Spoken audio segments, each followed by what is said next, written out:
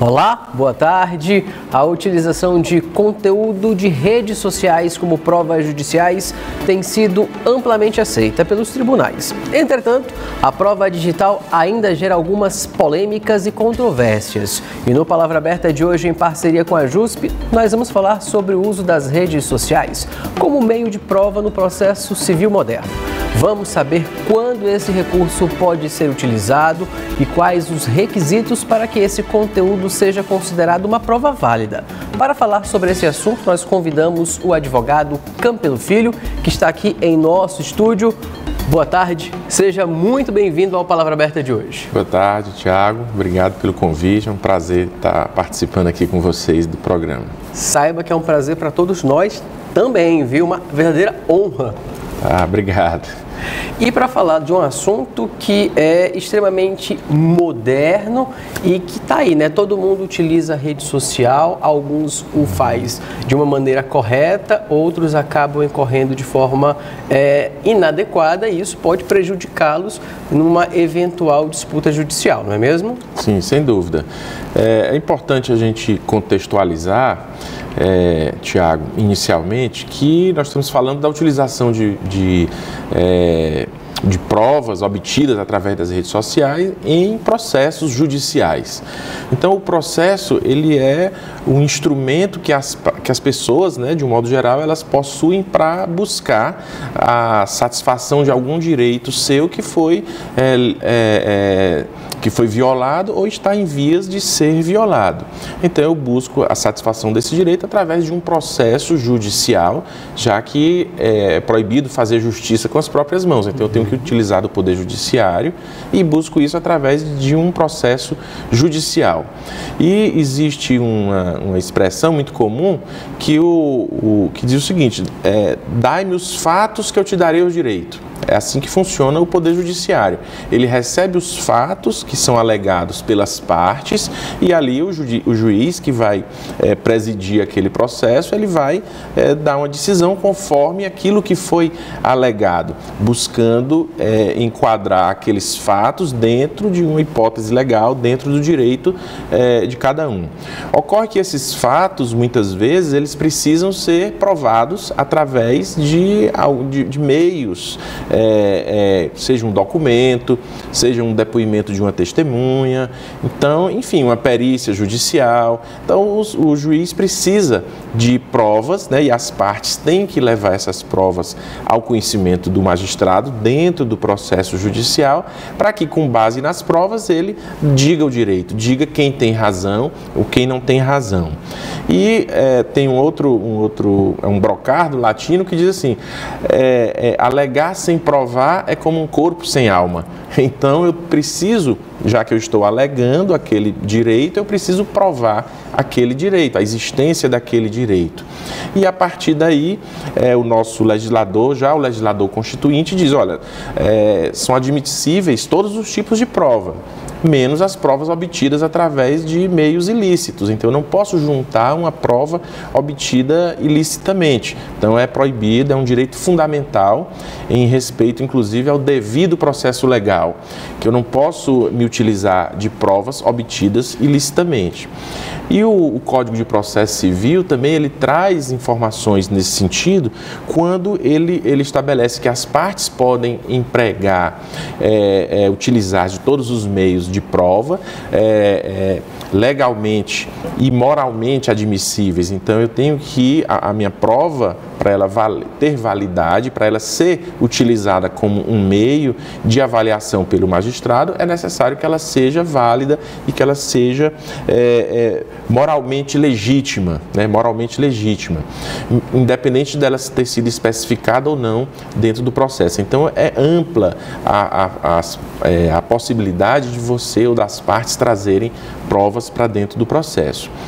E a gente chega né, é, no, no, na questão das provas é, através de redes sociais, utilizar redes sociais. E eu tenho um exemplo é, que eu costumo dar, muito simples, para contextualizar, que é, por exemplo, a venda, compra e venda de um carro. Você tem um carro, um automóvel, e você vende aquele automóvel, vamos dizer, você vendeu seu automóvel por 30 mil reais, e a pessoa que comprou chega e diz, olha, está aqui, ele é, trouxe aqui o dinheiro, lhe entrega o dinheiro, e diz, olha, mas eu não tenho nenhum recibo aqui para assinar agora. Não, não tem problema não, depois você assina aí o recibo e eu levo seu carro e daqui a pouco é, você eu, eu, lhe peço pela rede social, mando um WhatsApp né, e digo, olha, cadê o recibo? Eu lhe paguei os 30 mil reais e você não me mandou o recibo ainda, pode me mandar?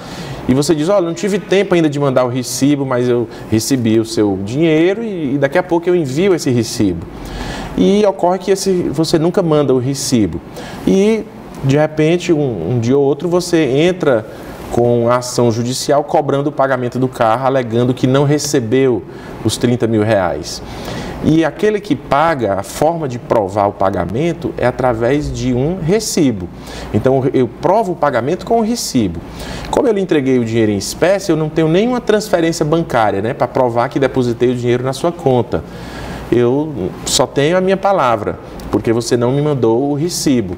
Então eu não tenho como provar o pagamento. E aí eu recordo que a gente trocou algumas mensagens via WhatsApp. Então eu posso utilizar aquelas mensagens que nós trocamos via WhatsApp para levar ao judiciário e dizer, dizer magistrado, dizer ao magistrado que, olha, ele confirma que recebeu, ele não me deu o recibo, mas quando eu cobrei, ele disse, olha, eu recebi o dinheiro, mas depois, quando eu tiver tempo, eu não tive tempo de fazer o recibo, depois eu lhe envio o recibo. Então, essa prova é, do pagamento, ou seja, aquelas mensagens trocadas é, via WhatsApp, elas podem servir como prova de pagamento então, essa seria uma discussão, é, que é o, o objeto aqui do, do, da nossa conversa. E é, é, o Poder Judiciário amplamente tem aceito essa prova de pagamento mediante, é, prova de pagamento, não, essa prova judicial é, através de, dessas redes sociais. Estou dando um exemplo aqui do WhatsApp, mas existem muitos outros exemplos que oportunamente aqui a gente é, poderá fazer, fazer referência. Então, é, eu, a, a, parte que está defendendo e que está negando que recebeu o dinheiro poderá dizer, olha, essa prova não vale porque foi trocada entre nós, ele está expondo uma mensagem minha, eu não dei autorização para ele expor a minha mensagem, então isso fere o direito à privacidade. Eu posso alegar também essa prova não tem é, é, legitimidade porque ela não comprova que eu realmente isso aí foi é, fraudado. Ele utilizando as tecnologias, hoje a gente sabe que é possível é, fazer é, determinados é, ajustes tecnológicos e que de repente eu consigo mostrar uma mensagem que essa mensagem ela não foi trocada e ali não passa de uma fraude. E, eu, e você alega isso em relação àquela prova. E o juiz ele vai ter que analisar essa alegativa, vai ter que ponderar e, e decidir é, quem, se aquela prova é válida ou não. E aí é onde, onde tem o grande problema, a utilização dessa mídia social. O Código de Processo Civil é, atual foi muito feliz quando é, estabelece que é, é, há, uma, há, um procedimento que eu posso utilizar para dar uma maior robustez àquela minha prova, para dar uma garantia de, aquela, de que aquela minha prova ela não é uma prova viciada, né? de que ela não foi, de que não foi feito nenhuma fraude naquele documento. Então, o primeiro ponto é que a prova, o juiz só vai avaliar dentro do processo se aquela prova estiver escrita. Vamos dizer que fosse áudio, eu preciso estar com aquele áudio transcrito. Então o juiz só avalia se a prova estiver escrita, digitalizada lá, escrita. Tá certo? Então esse é uma, é uma, é uma questão importante, porque quem vai se utilizar precisa transcrever aquilo que foi dito naquela mídia, se foi um áudio, por exemplo, então precisa haver a transcrição daquele áudio e juntar no processo aquela transcrição. Mas não é só a transcrição. O, o, há uma forma que, que dá ainda uma maior legitimidade. Qual seja? É a ata notarial. Então eu posso me dirigir a um cartório de registro público de documentos e lá junto ao escrivão, solicitar que ele faça uma ata notarial, que ele vai ver aquele, aquela mídia social e ele vai registrar que viu aquela mídia, que leu, que é, aquilo que está transcrito na mídia é, é verdade, é verdadeiro. E você pode também se utilizar, porque hoje as, nas tecnologias é possível eu verificar determinados códigos, né, onde eu ateste que aquela, aquela mensagem, ela é efetivamente, ela é legal, ela foi legítima, não há adulteração. Então existem códigos hoje, onde registros, onde eu posso estabelecer. E eu posso levar tudo isso para um é, é, no cartório para que fique consignado numa ata de registro notarial.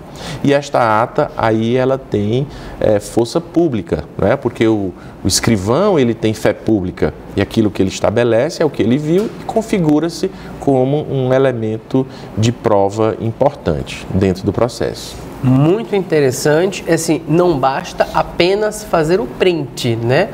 da conversa ou daquilo que ele tenha como prova.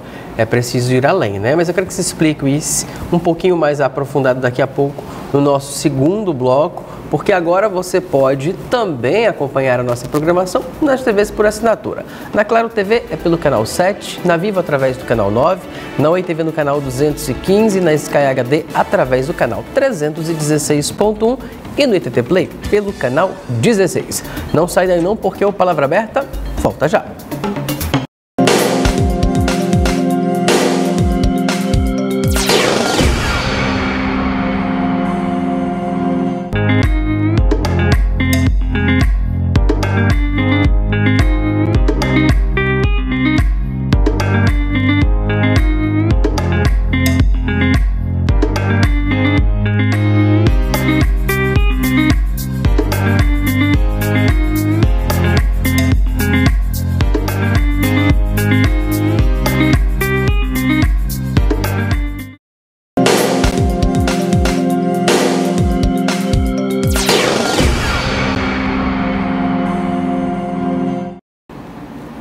Foi rapidinho, nós já estamos de volta aqui com o Palavra Aberta em parceria com a JUSP, que está de volta e a gente vai continuar conversando com o advogado Campilo Filho sobre o uso das redes sociais como meio de prova no processo civil moderno.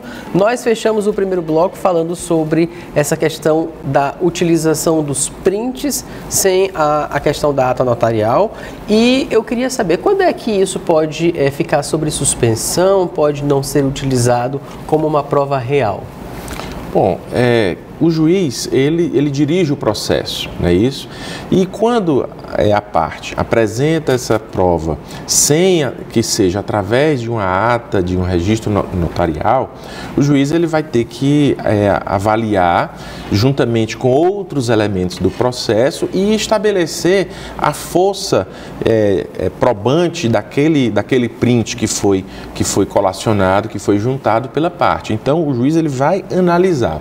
Um dos aspectos importantes a observar é que quando alguém junta um, um, determinada, uma fotografia que seja, ou um print de uma conversa, é, um áudio de uma conversa e, estabele, e diz que aquilo prova é, aquilo que está sendo alegado por ele naquele processo, é, em nome do princípio do, do contraditório e da ampla defesa, sempre o juiz vai abrir vistas para que a outra parte se manifeste sobre aquela documentação, sobre aquela foto, sobre aquele áudio, sobre aquele print que foi colocado no processo.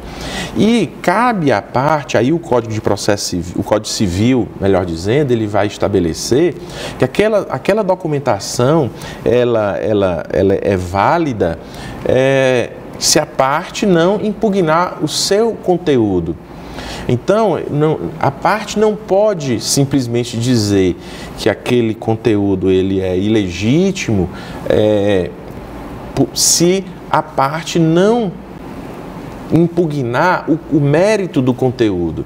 Então, eu preciso dizer, voltando ao caso do nosso recibo, não, eu não, eu não recebi realmente esse print aqui que está sendo colocado, ele não é verdadeiro, porque eu nunca disse isso.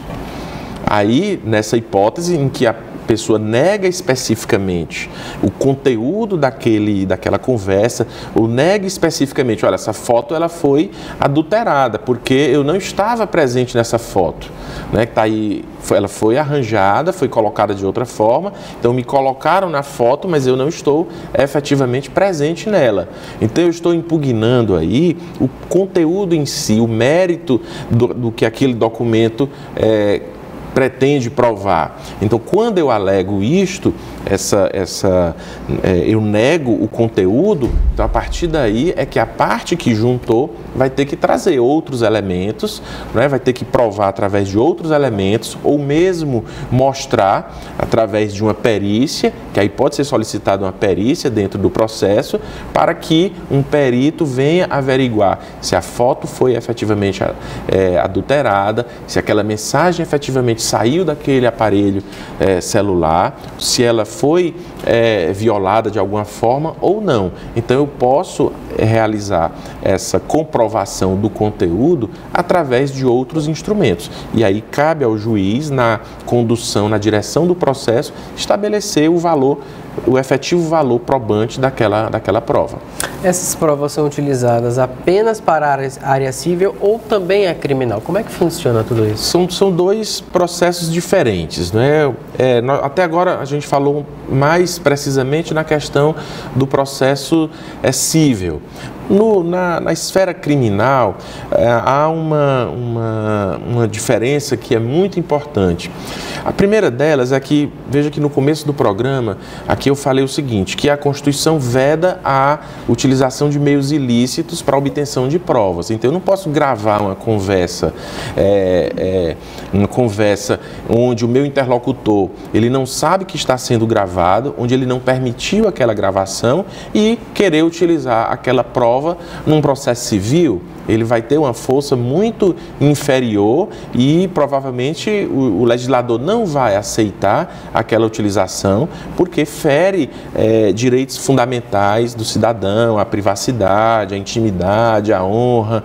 E o processo do é, o, o devido processo legal ele também é um princípio constitucional que precisa ser respeitado porque isso protege a própria justiça, protege o próprio cidadão de que não sejam elaboradas provas é, ilícitas contra si, não sejam obtidas provas ilícitas contra si. É como você, é, um policial, por exemplo, vai obter um depoimento e lhe, lhe coage né, a, a, dar aquele depoimento que você não quis dar, você não queria dar, mas foi coagido, né, foi obrigado a dar aquele depoimento e assinou. Então, aquele, aquele depoimento ele foi obtido de forma ilícita, mediante coação. Aquele documento ele não pode ser, aquele depoimento ele não pode ser validado. Mas há uma exceção, e isso o próprio Supremo Tribunal Federal já tem é, aceito para é, em várias decisões em que para que eu possa me defender se eu estou sendo acusado de um crime para que eu possa me defender eu posso me utilizar de uma gravação clandestina, por exemplo, para que eu possa, é, é, em nome do princípio da ampla defesa, para que eu possa me defender. Se eu não tenho outros meios de prova, se eu não tenho como provar a minha inocência é, através de outros meios de prova, eu posso me utilizar desse é, critério de fazer uma gravação clandestina, por exemplo, para mostrar que eu sou inocente, que eu não cometi aquele crime. E até a, a, na doutrina há uma discussão assim, mas isso seria uma prova ilícita? e há uma, um entendimento de que tem um voto, se não me engano, do ministro Celso Melo, quando ele diz, olha, isso não se trata de uma prova ilícita, porque a partir do momento em que você utiliza-se daquele meio é, para é, é, uma legítima defesa, então não pode ser caracterizado isso, é, isso gera uma exclusão de licitude, então aquela prova ela não é ilícita, você não cometeu um ato ilícito ali. É como numa legítima defesa, você, é, é, alguém vem, vem com a arma para lhe matar, por exemplo, e você, em legítima defesa, saca da sua arma e, e, e, mata a outra pessoa. Então, se a gente pensar, o matar alguém é crime, você teria cometido um crime, mas, na verdade, o nosso ordenamento estabelece né, como ele foi é, utilizado em legítima defesa, você não vai ser penalizado, você não vai ser apenado por conta daquela morte que causou naquela outra pessoa que vinha é, lhe assassinar. Então, nessa forma, no processo criminal, há essa, essa é, exceção, vamos dizer, da utilização de provas por meio ilícitos.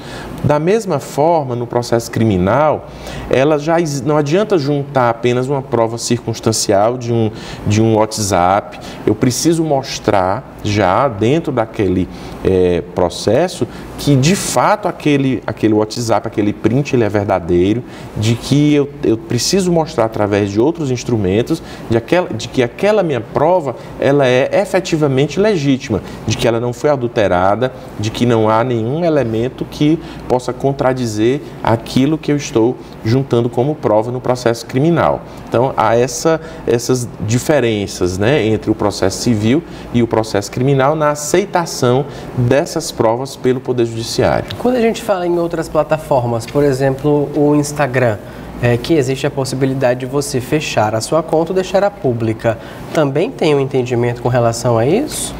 Olha, você, na verdade, se, se o Instagram, se você não, se você não conseguir o print, ou se a pessoa tiver apagado, é, aquilo que você pretende provar vai ficar muito difícil, já que você não conseguiu acessar. O que ocorre muitas vezes é que alguém printa e encaminha para você. Uhum. Né? Então, isso também é, é, é, realizado. E no processo civil, isso aí vai é, para aquele primeiro caso que eu falei, de poder ser utilizado sim como prova, né?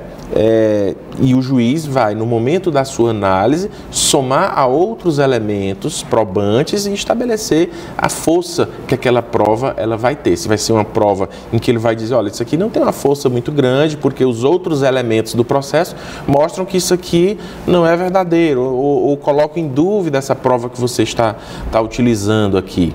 Então, isso vai depender da condução do processo e de outros elementos é, que forem estabelecidos dentro dos autos.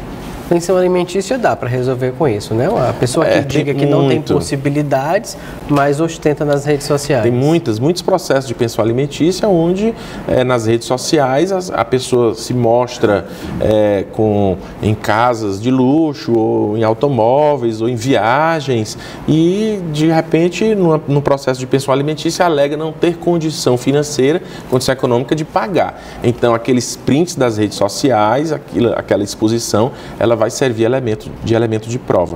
Eu recordo de um, de um outro caso, isso já na esfera criminal, que é, é, houve um acidente né, e o condutor do veículo alegou que vinha em velocidade baixa e que e houve uma vítima fatal e que vinha em velocidade baixa e que não, não é, sempre dirigiu com muito cuidado. Mas quando foi é, ver as redes sociais dessa, dessa pessoa, ele lá colocava é, no seu perfil era que era a velocidade é, é, é, é o meu comando, né?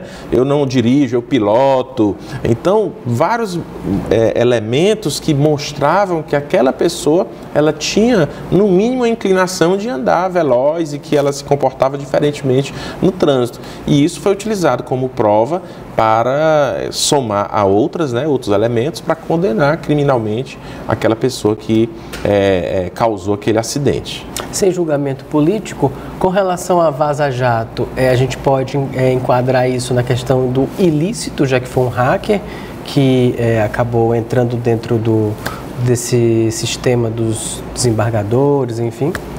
Isso foi uma discussão muito grande, ainda tem sido uma discussão muito grande é, se essa prova obtida mediante hackers, se ela poderia ser aceita ou não. Ou não.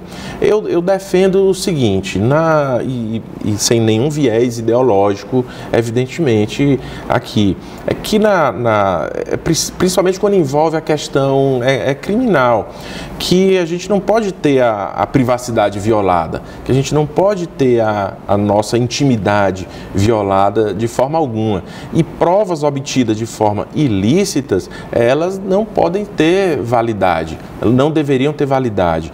Porque, como eu disse agora há pouco, isso pode colocar em risco um bem muito maior, que é a liberdade, pode colocar em risco a liberdade do cidadão, porque enquanto são os outros que estão sofrendo, e isso a gente pode até achar não se incomodar, mas quando a gente se coloca na pele do outro e de repente é, invadem nosso, nosso, nosso celular, invadem a nossa privacidade, a nossa intimidade, a nossa honra e utilizar isso, isso de forma ilícita, utilizar em um processo criminal, eu penso que é, isso não pode ser aceito em hipótese, em hipótese nenhuma. A gente está chegando pertinho no fim do nosso programa, mas eu quero também é, chamar a atenção para a decisão da sexta turma do Superior Tribunal de Justiça que rejeitou embargos de declaração e manteve seu entendimento que os prints de telas de conversas de WhatsApp não são provas válidas. Qual é a sua opinião a respeito disso? Aí nós temos que ver se esses prints de conversa, eles não, é, se é um processo é, em processo criminal ou em processo civil. Porque na, no processo criminal há uma busca isso também é, é, muito discutido, mas é a verdade real. Eu preciso, é, de fato, ter a certeza de que aquela pessoa cometeu o crime para poder condená-lo. Tanto é que a própria confissão, que é a rainha das provas, né, se é, a pessoa diz, olha, foi eu que cometi aquele crime, ainda assim, mesmo com a confissão, precisa se provar que efetivamente aquela pessoa cometeu o crime, mesmo que ela diga que ela cometeu, porque é, é, persegue-se a verdade real. Na, no processo civil, há o que a gente chama de verdade é, formal. Então, não, não é muitas vezes a, a, a, a verdade real, ela não é, é, é perseguida como, como o é na esfera criminal. Então, o que o, na, na, na esfera civil, o print de um WhatsApp ele pode não ser válido no meu entendimento, se houver uma impugnação do conteúdo ou se ele não tiver o re... ou não houver o registro é através de uma ata notarial, mas esse print de WhatsApp somando-se a outros elementos é, probatórios dentro dos autos, eles deveriam e podem ser aceitos. Aí é um entendimento de uma das turmas do STJ, a gente teria que analisar efetivamente um caso concreto, em que circunstância esse print não foi aceito, porque não adianta só o print, eu tenho que ter a transcrição, ou eu tenho que juntar com o registro de ata notarial, eu tenho que trazer outros elementos que deem, que atestem né, que aquele print, ele de fato, ele corresponde ao, à verdade, né, aquilo que está é, é, nos equipamentos de onde é, foram, foram tirados. Doutor Campelo, a gente agradece demais a sua brilhante contribuição aqui com a Palavra Aberta de hoje. Muito obrigado por sua participação, viu?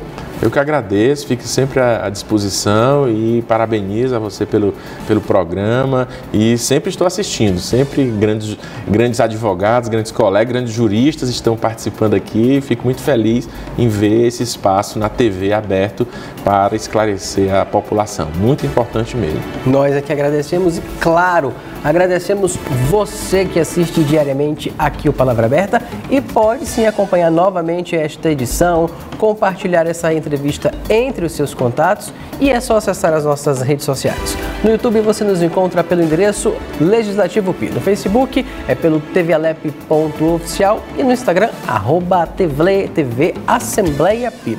Não esquece que a gente tem um encontro marcado de segunda a quinta-feira aqui na tela da TV Assembleia, sempre às 2h30 da tarde. Um super abraço, até a próxima edição do Palavra Aberta. Tchau, tchau!